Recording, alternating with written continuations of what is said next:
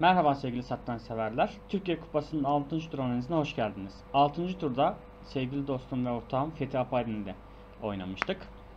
Çift turunun ikinci maçıydı. Çift turlu günün. D4 at F6, C4 G6. Fethi genelde Şahint oynuyor. Açılışları da iyi bilen birisi kendi açılışlarını. G3'lü sistemleri oynuyorum ben Şahint'e. Ee, çok hazırlanacak zamanında olmamıştı maça. En iyi bildiğimi oynamıştım rahat çıkmak için. Çünkü bir önceki maçta uzun sürmüştü. Hüseyin Canlı maçım. Fethi'nin de e, uzun sürmüştü yanlış hatırlamıyorsam. E, yorucu bir maç bekliyordu bize. Fil G7, Fil G2. Rok at F3. D6 Rok. At B7'ye oynadı. Ben genelde Vezir C2 kale D1 sistemi oynuyorum. Koçların oynadığı bir sistem. Hoşuma gidiyor. Beyazlar D dikeyinde vezirin olmasından dolayı kale D1 geliyor. Ebe sürüşlerini biraz e, geciktirmeye çalışıyor. Siyahlar da o yüzden veziri E7'ye ya da C7'ye koyuyor eve sürüyor. E, bununla ilgili partilerim var. Ligde e, Baçana'yı yenmiştim. Çok güzel bir e, maçta vezir C2 listemde. İpatova kaybetmiştim e, Türkiye şampiyonasında. Güzel bir hazırlık yapmıştı. Bir yere kadar tahtada bulmuştum ama sonuna kadar bulamamıştım. Kaybetmiştim o maçı. Korçnoy çok oynuyor bu açılışı. Çok etkili de oynuyor, güzel de oynuyor. Benim de hoşuma gitmişti. Repertuarıma almıştım. Hazırlanıp hazırlanmadığını düşünüyordum maç sırasında. Zamanımız yok. E, bunu öngörmeye çalışıyordum. Maçlarımız geç bitti. Yemeğe gittik, yemek yedik, dinlendik. Eşlendirme geç oldu. Ve yarım saat kala olmuştu yanlış hatırlamıyorsam. Hemen maça çıktık. Maç sırasında bu psikolojiyi düşünüyordum. Acaba hazırlandı mı? E, İpatoğlu maçıma baktı mı diye. E, tabii ben de sonuçta İpatoğlu maçıma bakmıştım e, varyantı oyun sırasında değiştirecek mi aynısını oynarsa? E5 kale D1 şimdi D çarpı E5 tehdidim. Vezir E7 at C3 e, E4 süremiyor hiçbir zaman. E4'de at G5 var hep. Her zaman e, bu piyon tehlike altında kalıyor. Vezir C2'nin bir mantığı da E4'de hemen sürdürmüyor C6 oynadı. Şimdi E4 sürmek istiyor. Neden? Yani herhangi bir hamle yaparsam mesela öylesine oynayayım B3 gibi. E4 oynayacak. At G5'e D5 oynayacak artık. Burayı bağlıyor. E4 sürmüş oluyor. Ve bu atım e, bu atım burada çok gereksiz kalmış oluyor. O yüzden ben E4 oynamalıyım burada. E4. Eğer dokunmazsa mesela kale E8 maçta oynadığı gibi diyelim ki oynarsa D5 oynayabiliyoruz burada. Yani buradan atak yapabiliyoruz vezir kanadından. Çünkü piyon yapımıza baktığımız zaman ilerlemiş olan piyonumuz rakip sahaya geçmiş. Onun olduğu kanattan oynamalıyız. Genel prensip budur. Burada D5 sürdüğüm için ben e, C5 sürerse A3 B4 ile e, belki C5 sürdüğünde A3 B4 fikriyle at E1 at D3 ile e, B4'ü destekleyip C5'e baskı yapacak şekilde e, atak yapabiliyorum. Tabii ki siyahlar da at H5 F5 ile şah kanadından oynamaya çalışacak ama e, bu fil e, önemli bir fil olacak şahı korumak adına. O yüzden burada genelde E4'e alınıyor D4 artık. Kale E8. Evet burada düşünmeye başlamıştım. E, acaba benim maçıma hazırlandı mı İpatov'la e, yani ne hazırlanabilir diye düşündüm. Normalde B3'lü oynanıyor. Ben F3 oynadım burada. Değiştirmeye çalıştım. Hamle sırasını değiştirdim sadece aslında. H5 oynadı Fethi'de. Hazırlanmadığını anladım artık H5'ten sonra. Ee, ikimiz de çok e, düşünmeden girdik bu varyanta. Kendisi de sonuçta Fethi de oynadığı bir açılış bu. E, fikirlerini biliyor. Hazırlanmayıp kendi sistemini oynuyor. Şimdi H5'in avantajları var. Bir kere e, şah kanadından bir alan üstünlüğü kazanmak istiyor. H4 ile bu yapıyı bozup yani şu piyon yapısından dolayı bir zayıflık oluşuyor bu çaprazda. Bu yapıyı zayıflatıp daha sonra at H5 gelip G3'e baskı yapıp şahımı zayıflatmaya çalışıyor ve siyah kaleleri zayıflatmaya çalışıyor. Diğer fikri de Şah H7, Vezir F8 ve At G8 gibi hamleler yapıp Flash 6 ile şu an için e, normal olan fil kötü değil bu ama benim iyi filimle değişmek istiyor. Çünkü bakın bu çaprazda bir zayıflık var. Genelde F3, F6 tarzı hamleler çaprazı zayıflatır şahın çaprazını ve e, şahın çaprazını koruyabilecek e, filin daha da kuvvetli hale getirir. H5'in fikri bu. Dezavantajı nedir? Bu kare zayıf kalıyor artık her zaman. Bu kareye yerleşebiliyoruz biz. Normalde bu konumda D6 piyonuna basmak için fil F4 oynayamıyoruz. Her zaman at H5 oynuyor. Filimizi geri kovuyor. Daha sonra belki at C5 veya at T5 gelip F5 sürebiliyor at H5'teyken. Yani atını tempoylaşmış oluyor. F piyonunu sürüp şarkılarında bir girişim elde etmeye çalışıyor. Ama fil G5'teyken şimdi ataş 7 oynarsa fil F4 bu sefer çekebiliyoruz. Artık ataş 5 yok. Zararda yani e, kötü olmasının sebeplerinden birisi de bu. H5'in hem iyi hem kötü yanları var demiştik. Güzel hamle vezir F8. Fil H6 istiyor. Engellemeliyim fil H6'yı. O fil değişmek istemiyorum. At H7, fil F4. Şimdi e, tabi rakibi de G5'e tahrik ediyorum. G5 sürmesini istiyorum. E, filin F4'te artık daha güvende. At H5 gelemiyor. D6'ya baskı yapacağım atı çekip. E, at E5 de koruyabilir. D6'ya baskı azaltabilir ama karşılıklı oyun var şu an. C4'ü istiyor. At E5'e B3. Vezir E7. Şimdi G5 sürme fikriyle oynuyor. Burada çok düşünmüştüm. Atı geri çekebilirdim. At E2. Ama G5 ciddi bir tehdit olarak düşündüm. G5 G4 e, sürmekten ziyade G5 H4 sürerek siyah kareleri zayıflatabiliyor. Ve G5 fil F6 oynayıp bekleyebilir. G5'i tutabilir. Daha sonra mesela G5 fil F6 at F8 at G6 ee, yine H4 sürerek zayıflatmaya çalışabilir. G5 engellemek istedim. Evet benim bu piyon yapımda e, bir zayıflık oluşuyor şu an için ama saldıramıyor. Ne diyoruz? Zayıflık eğer kullanılabiliyorsa, kullanılabiliyorsa zayıflıktır. Kullanamıyorsa zayıflık değildir. Şu an e, G3 H4 formasyonunda bir sıkıntı yok. G5 sürmeye çalışabilir F6 G5. E, bunu yaparken e, siyahın da F5 karesi zayıflayacak. Piyonlarına baskı oluşacak şarkılarında. Kolay değil o yüzden. F6 file 3. Artık yarı kapalı yani yarı açık bir konum bu. E4 D6 piyon formasyonundan dolayı. İki tarafta manevra yapacak. Benim yapacağım manevra e, F4 sürme fikri üzerine artık bu maçta. E, bu konudan itibaren. Siyahlara taşlarını geçip gerektiği yerde konum açmaya çalışacak F5 veya D5 ile.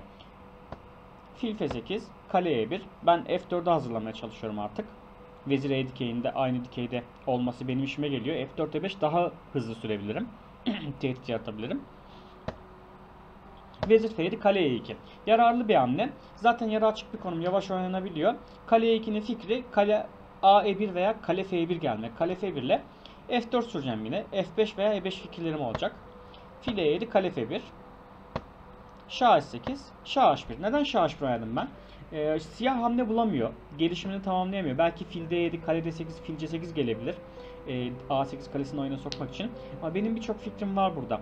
B4 C5 sürebilirim. B4 B5 sürebilirim. En önemlisi F4 sürebilirim. F4'ten sonra da E5 veya F5 sürebilirim. Şah H1 niye kaçtım? F4 sürdüğümde at G4 geldiğinde E3 filini vermek istemiyorum. Fil G1'e saklanacağım.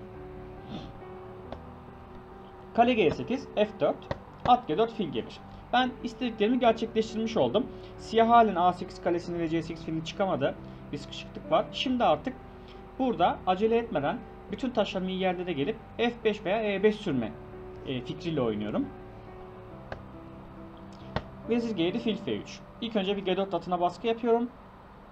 Hem ikinci yatayı açmış oluyorum. Olası G5 tarzı e, hamlelerde yarma harekatı yaparsa sonuçta siyah bir yerde artık e, açmak zorunda kalacak. Bekleyemeyecek. Yarma harekatı yaparsa kalem ikinci yataydan hemen şaha karşı bir atak başlatıp benim şahımı da savunabilir. Fil F3 oynamamın sebebi kuvvetli bir atı var. Gerektiğinde onu almak, gerektiğinde de ikinci ataya taşlarımı gelmek. Fil D7. At D1. At D1 de güzel bir hamle. Maç sırasında beğenmiştim. E, C3 atımın bir fonksiyonu yok. Onu daha iyi bir yere getiriyorum. E3'e getiriyorum. F5 karesine bakıyor. F5 sürme veya E5 sürme fikrimi destekleyecek. Bir de G4'te kuvvetli bir atı var. Onu almak istiyorum. Kale A8. At E3. At H6. Fethi de değişmiyor. Sonuçta aktif bir taşı. Tek atak yapan taşı değişmiyor. E, o da atını geri kaçtı. Evet burası e, kritik yerlerden birisi. Burada F5 sürme fikrim var. F5 sürdüğümde G3'ün boşta olduğunu gördüm. Zamanlarımız da az burada fethiyle ikimizin de. E, o yüzden G3'ü tutacak bir hamle yapmam ama kötü bir hamle. Fil H2 çok kötü bir hamle burada. E, oynanmaması gereken bir hamle. Çünkü zaten G3'ü alamıyor. Kalem ikinci yatayda şahımı çok rahat savunabiliyor. Burada ilginç bir hamle daha var maçtan sonra baktığımda. Her şeye bakın burada geçiyor. Bu alanda geçiyor bütün oyun. Taşlarımız kutu gibi buraya dizilmiş. Siyah hiçbir şekilde G5 süremiyor. H5 boşta. F5 süremiyor. D5 süremiyor. C5 süremiyor. Siyah beklemek zorunda. Oyunu açamıyor. Çok basit bir hamlemiz var burada. Vezir A5. Basitçe A7'yi almak istiyorum. A7'yi korursa vezir C7. Ver fili ver B7'ye. Savunamıyor çünkü bütün taşlar burada kaldığı için vezir kanadı zayıf kaldı savunamıyor. Maç sırasında ben bunu görmedim tabi. Ama burada F5 oynanabiliyor. F5'i düşünmüştüm. Zaman kısaydı. Net hesaplayamamıştım. Ee, siyah da G dikeyinde bir e, yani etkin olmaya çalışacak taşlarını G dikeyine yerleştirdi. O yüzden Flash 2 oynamıştım ama çok kötü hamleydi Flash 2. F5 oynayabiliyorum halbuki burada. GF5 aldığımda Flash 5. Şimdi kaleyi istiyorum. Daha sonra F5'i alacağım. Vezir G3'e basitçe file E8 alıyorum. Çünkü vezir F3 şah şey kazandırmıyor. Kale H2 var. Yani E3 atım F1'i tutuyor. G2'den ve G1'den mat olmuyorum. O yüzden burada çok rahat bir şekilde F5 oynanabiliyordu. Ben G3'ü de almasın diye flash 2 oynadım. Kötü bir hamle.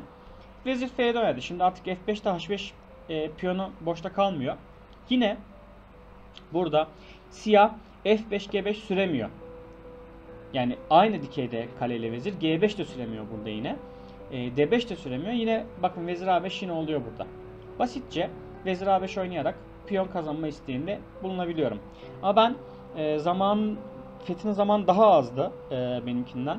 Yanlış hatırlamıyorsam benim 5 e, dakika civarı vardı. Fethi'nin 1 dakikaya yakın vardı. Biraz da e, zamanın az olduğunu düşünerek ki Fethi aslında iyi de oynuyor Yıldırım'ı. E, vezirle kale aynı hiç düşünmeden E5 yaptım. E, burayı çok güzel oynadı Fethi. E5'e ben artık kazandığımı düşünüyordum hızlı bir şekilde. E, çünkü E6 bir tehdit. E, D6 isteyebiliyorum. F6'yı alabiliyorum. E, çok tehditim var. Nasıl yapacak diye düşünüyordum. Ne oynayacak diye düşünüyordum. E, D5 F5'e fil C5. Bu hamleyi hiç görmedim ben. Fil C5 oynayabileceğini düşünmüyordum. Ben her zaman E5'i alacak veya F5 sürecek diyordum. F5 sürdüğünde E5'i alamıyor. Çünkü E5'i aldığında artık kaleyle aynı dikeyde fili herhangi bir yere açıp kalite kazanabiliyorum veya piyonu geri alabiliyorum istersen ama fil F5 mantıklı. Şey fil D5 pardon. F5 süreceğini düşünüyordum. F5'e de burada E6 sürmeyi planlıyordum. Taş feda etmeyi. E6 sürüp kuvvetli filini alıp e, bu çaprazda bir zayıflık var. Fil çiftim var. Kaleyle vezir aynı dikeyde. Ciddi bir girişim üstünlüğü elde edeceğim. E, bunu planlıyordum. Bir fikir daha var. Burada at G2 oynayabiliyoruz. At G2 yani şöyle oynayabiliriz hatta. Fikir at F4 oynayıp E6 oynamak. E6'dan bloke edemiyor. Çünkü file E6 oynadığı takdirde alıyorum. Alınca tekrar geliyorum at F4'e. Yani at G2 at F4 fikrim de vardı. Bunu düşünerek kazandığımı düşündüm ben. Fil C5 hiç görmedim. Fil C5 çok kuvvetli bir hamle. Fil C5'ten sonra biraz sıkıntı başladı. E, beyaz açısından benim için. F6'yı almak zorundayım. Vezir F6. At D2. Şey, at DC2. Şimdi D4 istekte. Vezir G7 geldi. B4. Fil B6'ya fil G1. Bakın fil aşkının e, kötülüğü burada. Fil G1 geri dönmek zorunda kaldım. Bir de E5'in kötü tarafı bu atlar hiçbir şekilde oyuna giremiyordu. Şimdi bu atlar çok kuvvetli hale geldi. Bu şahı savunuyor. Herhangi bir şekilde şaha saldıramıyorum. Bu hatta F5'e veya G4'e gelerek benim şahıma saldırı yapabilir. Piyonlarıma, taşlarıma saldırı yapabilir. Yani benim şu an kötü bir taşım var. Kırmızıyla işaretlediğim. İşaretleyemediğim. Kötü bir taşım var. Rakibin iyi bir taşı var. Yani birden roller değişti. Burada artık savunmaya çalışan taraf benim ama maç sırasında ben halen zamanı kötü diye e, konumda zamanı oynamaya çalışıyordum. Ama çok rahat ve güzel hamleler buldu Fethi. E, çok rahat üstün konuma geçti burada. Fil G1 tempo kaybından sonra hatanın neresine dönersek kardır mantığıyla artık Fil G1 oynadık. At F6, Fil G2, kale GF8. Bütün taşlarını iyi hale getirdi. Bakın siyah. Beyazın taşları geride. G3'te bir zayıflığı var. Rakibin G6 zayıflığı yok çünkü basamıyorum ama benim G3 zayıflığım var.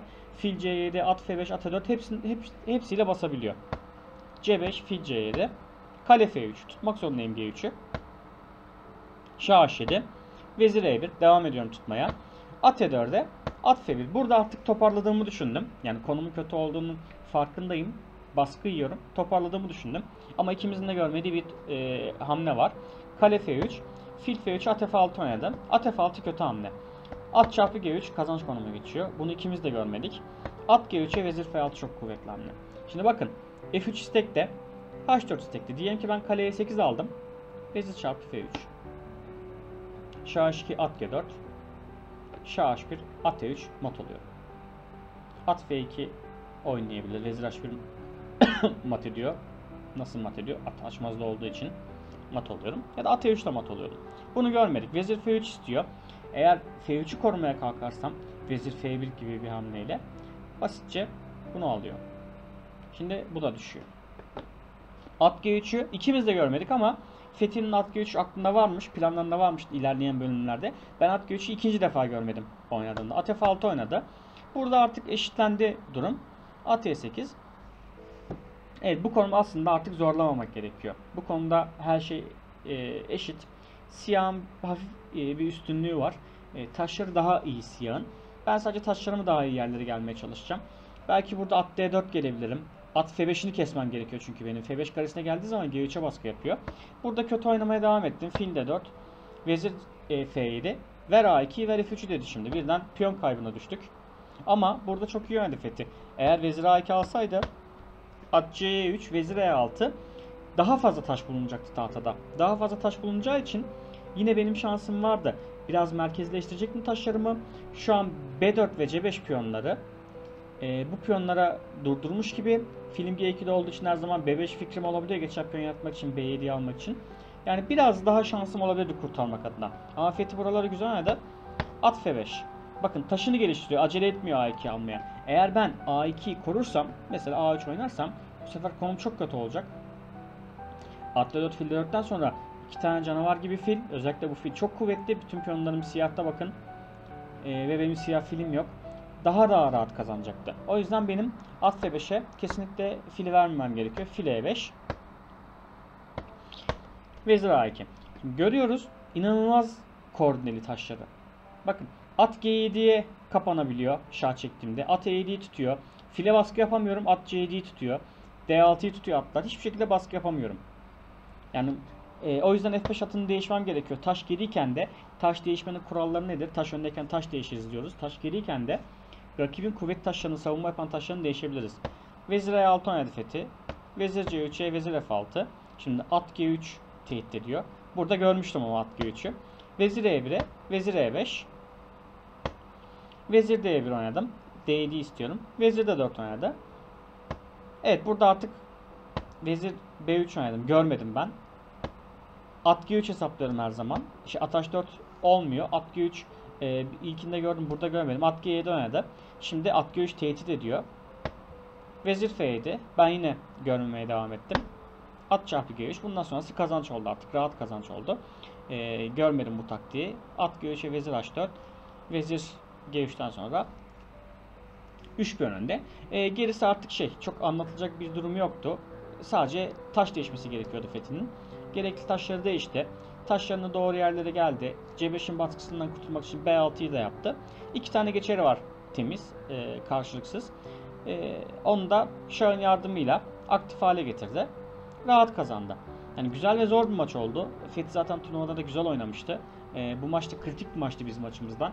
Ben kazansam ben birinciliğe yerleşeceğim. Belki ben alıp başımı gidecektim. Fethi kazandı. Puan farkını açarak uzun süre e, önde götürdü.